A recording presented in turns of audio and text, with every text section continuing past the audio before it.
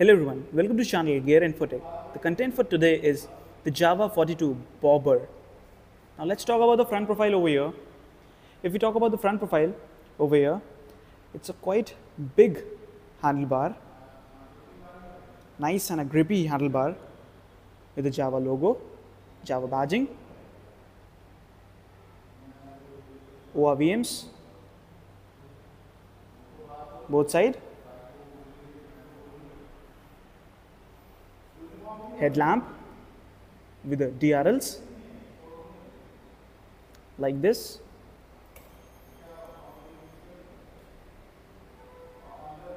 Forty-two badging, chrome garnish on the headlamp, side turn indicators.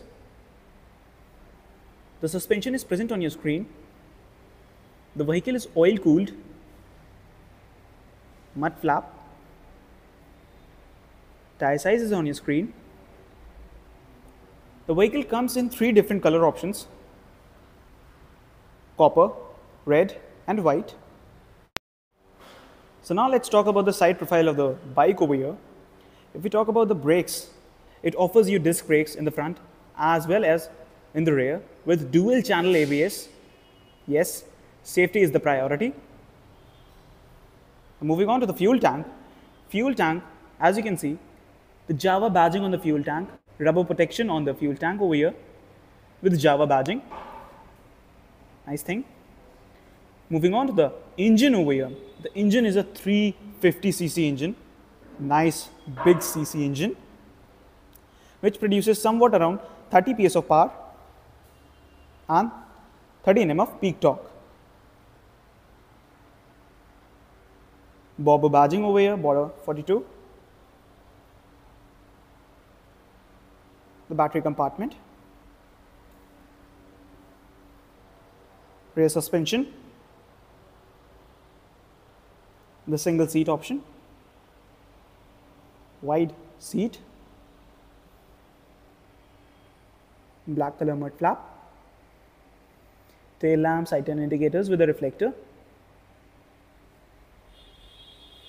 rear silencer and this is how the bike looks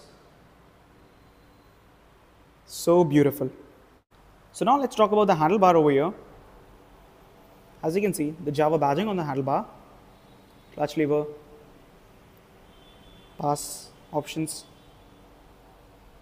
more options trip meter indicators on ORVM over here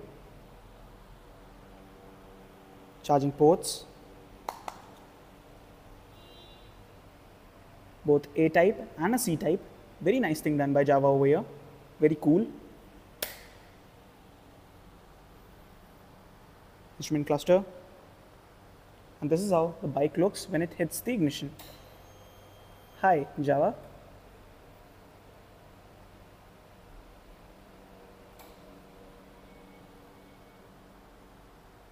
brake fluid, engine kill option, hazard light, start,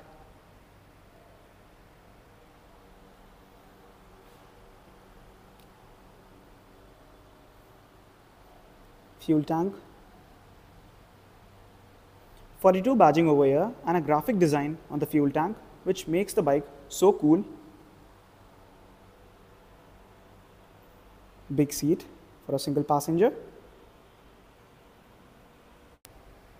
the 6 speed transmission gearbox.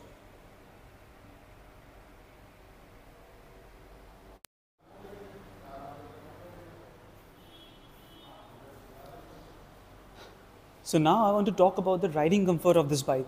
42 Bobber, yes.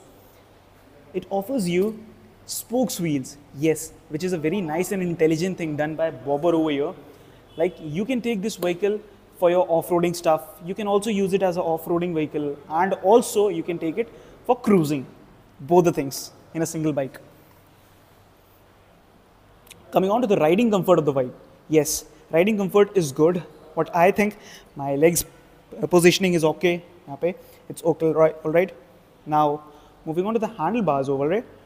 Handlebars is also like they are positioned good and my arms are not that much stretching over here what I can say when I'll be riding this bike, I'll give you a better review. So yes, from my opinion, when I'll keep my legs over here, I'll get a good comfort while riding. Definitely. So now let's check out this beast.